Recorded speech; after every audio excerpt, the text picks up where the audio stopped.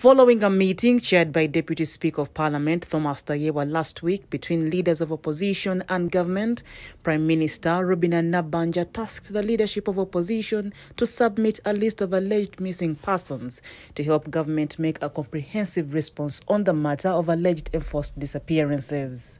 Together with my colleague Honorable Muwanga Kivumbi, wherein we agreed that by Friday we must have tendered in a list of all abducted uh, abducted persons. I'm, I'm glad that I have been in position to liaise with various stakeholders, the Secretariat of NUP, and uh, uh, other political parties whose people were abducted. Uh, so far, I have a list uh, comprised of 24 people whose whereabouts have continued to be unknown to the present date.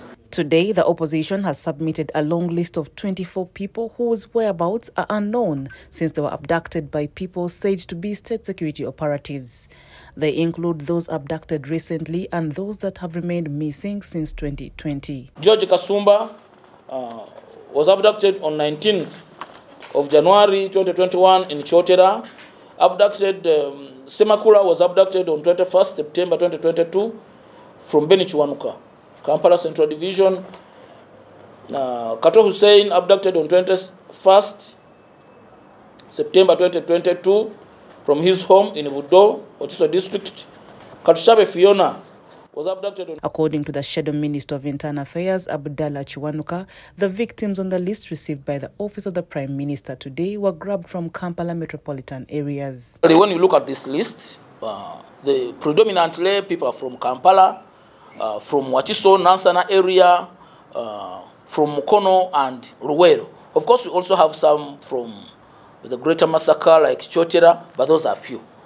The four districts of Kampala, uh, Masa uh, Kampala, um, Mukono, Wachiso, and Luwero are the most affected. However, the opposition has withheld contacts of relatives of the abducted persons with fear that they can be misused by security agencies to intimidate families of victims from pushing for justice for their people. Kiwanuka noted that they will only give in contacts after getting assurance from the government on their protection. The reason behind that is that we have been requested by the by the our informers who saw this happening, the relatives who saw this happening, the fear of being uh, persecuted, being followed up.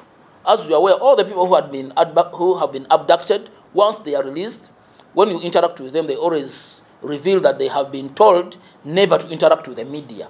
So until uh, government comes out and say that maybe it is only the telephone contacts which can assist them to look for these people, we can reveal uh, upon uh, an undertaking that they want harm these uh, witnesses because we also need to protect our people. The lead of government business in Parliament now has 30 days to make a comprehensive response to Parliament on the fate of the victims, as was directed by the Deputy Speaker of Parliament.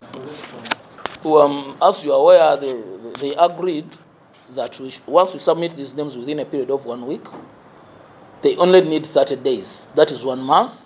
So we expect their response uh, and action taken uh, accountability as they promised to be done within a period of 30 days, within a period of one month. According to the Human Rights Annual Report of the Uganda Human Rights Commission, six people are still missing. Report compiled by Fred Kajubi for the news.